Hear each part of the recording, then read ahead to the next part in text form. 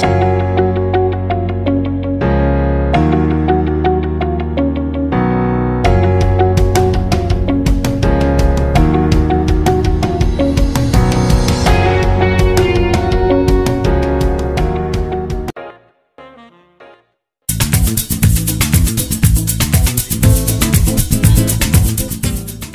Kati ya mechi mia moja na kumi walizokutana watani wa jadi Simba na Yanga, Yanga imeshinda mara thelathini na tisa huku Simba ikishinda mara thelathini na mbili na sare wakitoka mara thelathini na nane. Hapa kitakwimu Yanga ndio kinara wa head to head.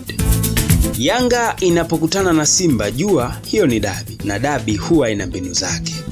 Kocha yeyote huwa na namna yake ya kiuchezaji, lakini pia kuna wakati hubadilika, japo sio sana, lakini lazima aendane na aina ya mechi.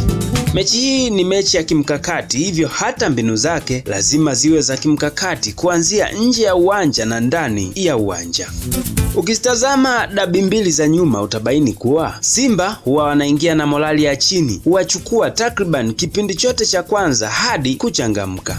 Tazama, magoli mengi ya Yanga yaliyofungwa kipindi cha kwanza huwa hayarudi, na yakirudi huwa ni jioni sana baada ya timu nzima kupata moto, na Simba ikitokea imetangulia kipindi cha kwanza ni rahisi kwa Yanga kurudisha.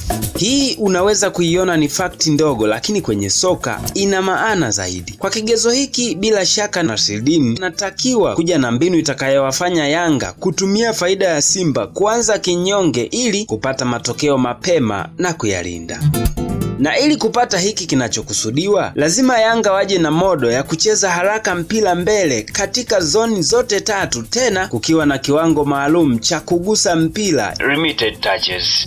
Kikosi cha kufanya hivyo kipo, uwezo upo, na nia ya kushinda mara 40 katika dabi ya Kariakoo. Ipo. Baki hapa, kupitia hapa utaujua udhaifu wa Simba, utajua Yanga ni bora zaidi wapi, kikosi kipi cha kwanza kianze, na mbinu gani zitumike kwa Yanga ili kupata ushindi mnono mbele ya Simba. Uchambuzi Kama ni mgeni hapa, kumbuka kusubscribe na kubofya alama ya kengele. Tufuate kule Instagram na Facebook kwa jina la Soka Data Tanzania. Bila kupoteza muda, acha tuanze. Mbinu za Nabi kwa Simba zitaanzia kwa Molson upande wa kushoto, kisha kwa Dilunga upande wa kulia, na mwisho ni katika eneo la kiungo wa ulinzi Jonas Mkude na Sadio Kanoti. Katika mfumo wa 451 mashambulizi ya Simba hutegemea maeneo ya pembeni mwa uwanja kwa Dilunga na Morrison wakiungana na mabeki wao wa pembeni Kapombe na Shabalala mtawalia. Wote tunajua kuwa katika hili Yanga ndiyo timu kongwe zaidi inayoshambulia kupitia pembeni mwa uwanja, yaani imekuwa ni kama utamaduni wa klabu katika kujenga mashambulizi yake kwa miaka mingi hivi sasa. Hawa wote kuna namna nzuri ya kuwalazimisha kutimiza jukumu lingine badala ya kushambulia pembeni. Eneo la pili nimesema eneo la kiungo wa ulinzi. Hili ndilo eneo lenye udhaifu zaidi kwa Simba na ndilo eneo la kujipatia ushindi kwa Yanga. Mkude ni mzuri akiwa na mpira, lakini changamoto yake kubwa ni uwezo mdogo wa kufanya maamuzi ya haraka na uzito katika ukabaji. Hivyo ili kumfanya ashindwe kumudu mchezo, inatakiwa atiwe presha muda wote, presha ambayo itamlazimisha aunge mkono jitihada. Kumbuka kando yake kuna Sadio Kanot, box to box midfielder. Kanot ni mzuri lakini ni mvivu mno. Hashuki chini kumsaidia Mkude kwa wakati, lakini pia hapandi juu kumsaidia Bwalia kwa wakati. Hii ni maana tosha kuwa kuongeza presha kwa Mkude kutakuwa hakuna kipingamizi kutoka kwa Kanoti.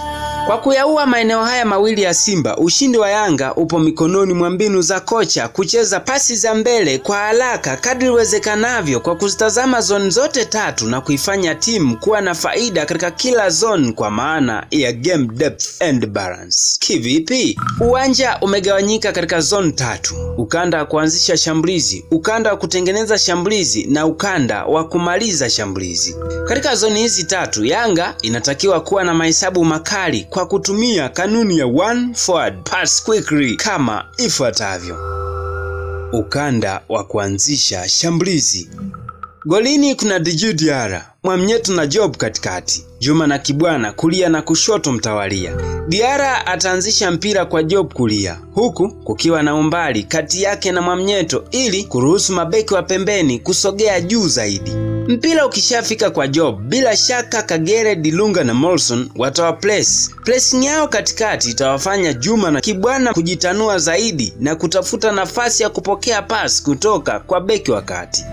Job akishampasia Juma, Mloko atakuwa tayari ameshajitenga pembeni mwa uwanja.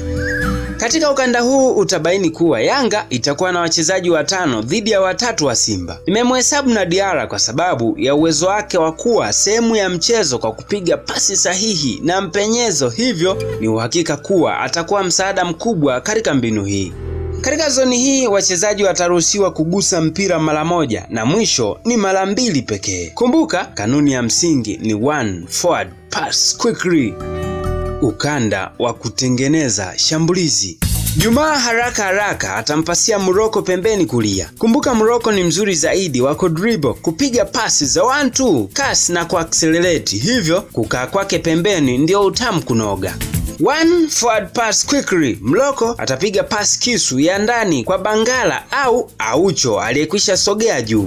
Kumbuka Aucho na Bangala wana alternate, mmoja akipanda mwingine hubaki chini kama kiungo wa ulinzi, ambapo mara nyingi huwa ni Khalid Aucho. Mpira unapomfikia Aucho katika eneo hili, muda huo Jumaa Shaban ata overlap na kuna uwezekano wa kulifikia eneo hili haraka iwezekanavyo. Lakini pia Kibwana mara nyingi hupenda kupanda na kuingia ndani kidogo kama backup ya kiungo wa ulinzi. Mikimbio hii ya Kibwana ndani kutamfanya Farid Musa au Saidon Tibanzokiza na Faisal Salum kuingia kwenye box la Simba kwa haraka zaidi. Mikimbio hii ya Faisal na Ntibanzokiza kutamfanya Shabalala kuingia ndani zaidi huku Kapombe akijaribu kufanya double marking kwa Muroko na Jumaa. Pasi ikishamfikia Aucho kutamfanya Kanoti na Mkude kujaribu kupunguza umbali kati yao na Bwalia eneo la kati, hivyo kuharibu umbo lao la msingi wakati wa ukabaji. Kumbuka kanuni ya msingi one forward pass quickly. Aucho master pasa atapiga moja mpenyezo kwa Jumaa Shaban pembeni kulia. Kimahesabu katika ukanda huu kutakuwa na 4 against 2. Yanga ina faida kinamba. Faida hii itasababishwa hasa na uharaka wa Kibwana kuingia ndani kidogo, lakini pia kushindwa kwa Dilunga na Molson kushuka haraka chini kutokana na ugumu wa kanuni ya one forward pass quickly. Maagizo kwa wachezaji katika ukanda huu itakuwa ni kugusa mpira mara mbili au chini ya hapo. Ukanda wa kumaliza shambulizi. Katika michezo mingi aliyocheza akiwa Yanga, Juma hupendelea kuingia nao mwenyewe ndani kabla ya kupiga cross au vipas. Juma atadribble kidogo japo kumpunguza Kapombe upande wa kulia, kisha kupiga pasi mpenyezo kukatisha mabeki wakati Seji Wawa na Inonga Henok Baka na mpira kumkuta Sadio Ntibanzokiza uso kwa uso na Aishi Salum Manula. Katika ukanda huu kutakuwa na wachezaji watano wa Simba, kipa atakuwa wa sita, huku Yanga ikiwa na wachezaji wanne.